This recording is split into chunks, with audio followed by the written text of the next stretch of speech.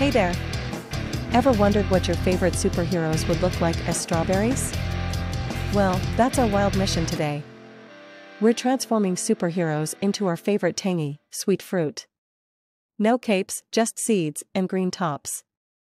Sounds strange? Don't worry, it's all in good fun. Join us as we venture into this very exciting world.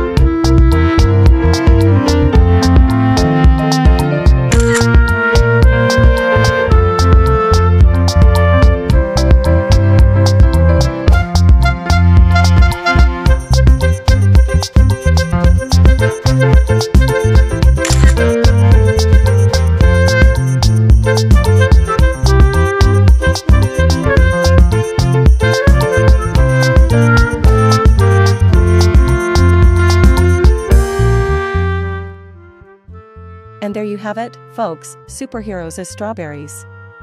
Remember, life's a bowl of berries, so enjoy the sweetness and stay super.